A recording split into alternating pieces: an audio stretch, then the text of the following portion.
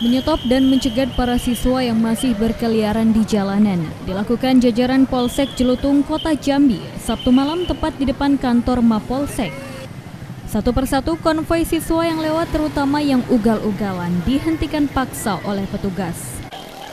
Bahkan ada beberapa siswa yang mengendarai motor nekat menerobos barisan polisi karena ketakutan.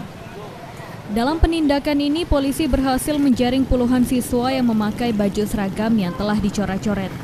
Penindakan ini dilakukan untuk mengantisipasi dan meminimalisir kecelakaan serta kemacetan lalu lintas saat siswa merayakan kelulusan UN. Tujuan kita supaya mengurai tidak terjadi penumpukan. Dan selanjutnya kita dalam waktu satu jam satu jam kita lakukan pembinaan fisik dulu semata-mata supaya mereka ingat. Ingat eh, intinya kita di sini membina.